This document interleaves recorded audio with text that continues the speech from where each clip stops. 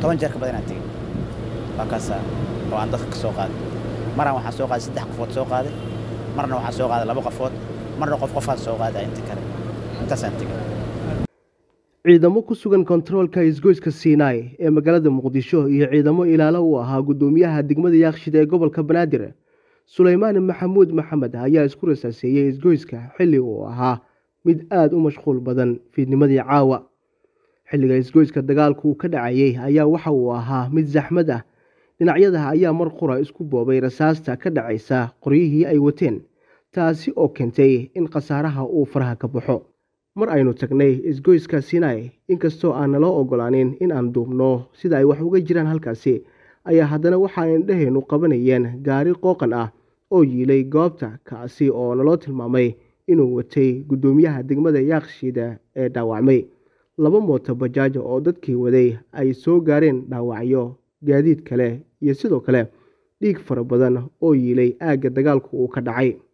Qoriga nooca loo yaqaano sebenka ayaa ciidamadu ay adeegsadeen intii israaseentu ay socotay sida ay inoo sheegeen goobjoogayaal goobjoogayaal ayaa inoo sheegay in in ka badan toban ruux oo uu ku jiro guddoomiyaha degmada yaaqshiida ay ku dhaawacmeen israaseenta halkaa tiro gaaraysa ilaa shan ruux ay ku dhinteen shaqaalaha caafimaadka ayaa inoo tilmaamay in isbitalka la keenay ilaa toban ruux oo qaba dhaawacyo kala duwan iyo laba ruux oo dhimasho ah. Mid ka mid a shaqaalaha gurmadka deg dega oo faahfaahin naga siinayay dhacdadan ayaa waxa uu sheegay inuu qaaday laba ruux oo meyd ah islamarkaana ay jiraan gaadiid kale oo ambalaas ah oo lagu daabulay meydad kale iyo dhaawacyo kale. Waxaana uu tilmaamay in isaga uu soo qaaday toban ruux oo lix ka mid ah loo gudbiyey isbitalka digfer ee magaalada muqdisho kuwaasi uu tilmaamay in ay qabeen dhaawac culculus. Yow laba iyo toban qofood aan soo qaadnay. Laba meeday ahaayeen.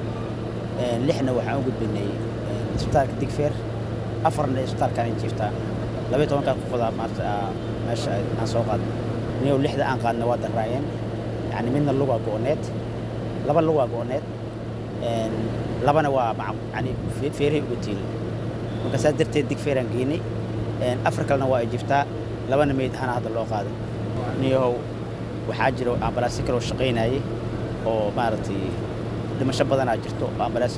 ambalaas kalaa shaqaynaysay saas darteed marka aniga intaan soo qaadnaan ka hadli karaa oo isbitaalkan aan keen waa loola tacaalay waa nagala qaabilay kuwa kalena waa loo shaqeeyey kuwana ayagoo dhaawac fudud ay baxeen oo lugooda ku yimid dhaawac fudud ayagoo waa loo shaqeeyey waa ay baxeen niyow taas niyow aniga maka sheegi kariyo markii aan tago dhaawaca hore laga soo saarayey horaan ka soo cararayo toban jeer ka badan inaan tegey waa kaasaa oo aan dadka ka soo qaaday maraan waxaan soo qaaday saddex qofood soo qaaday marna waxaan soo qaaday laba qofood marna qof qofaan soo qaaday inta kale.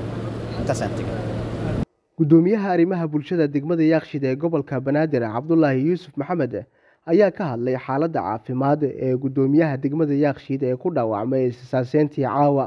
Dabcan meesha baabuurta markii jagboyntiga loo ogolaanayo ay istaagtaan taagnayn oo lagu sugo. Guddoomiyaha telefoonkan ku wada hadalnay wuxuu ii sheegay in dhaawac fudud uu soo gaaray ciidankiisana dabcan sidaan kuu sheegay waa khasaaraa soo gaaray.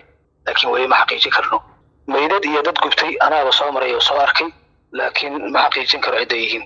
Waa tahay. Marka sidee lagu xaliyey maadaama dhacdadan ay dhacday oo muddo israsaasiintu socotay ma ciidamaha goobta soo gaaro idin kala dhex galay? Dabcan markii arrin ay meeshaas oo kaleeta ka dhacdo waxaa imaanaya mas'uuliyiin waxaa imaanaya saraakiil. Dabcan dad madaxa oo saraakiila meeshii yimid oo ku soo baxay sidaasaana lagu kala qaboobay. Waa mahadsantahay runtii dhibaatadan iyo musiibadan waa soo noqnoqotay. Waxaa og tahay isbuucii la soo dhaafay. Sidaas lamida in meeshaas ay ka dhacday musiibo midaan oo kaleeta ah. Ma jirto cid xaqiijisay sababta keentay isaaseenta inay dhacdo. Laamaha amnigana wax war ah kama soo saarin dhacdadan. Isgoyska sinai ayaa kala hore sidoo kale waxaa uga dhacay. Dagaal u dhexeeya ciidamo ka wada tirsan dowladda federaalk ee soomaaliya isgoyska ayaa kala qaybiya saddex degmo oo kale ah yakshiid boondheere iyo warta nabadda. Waxaana uu ka mid yahay isgoysyada ugu mashquulka badan ee muqdisho. Zikri axmed muuse t v-ga shabeelle muqdisho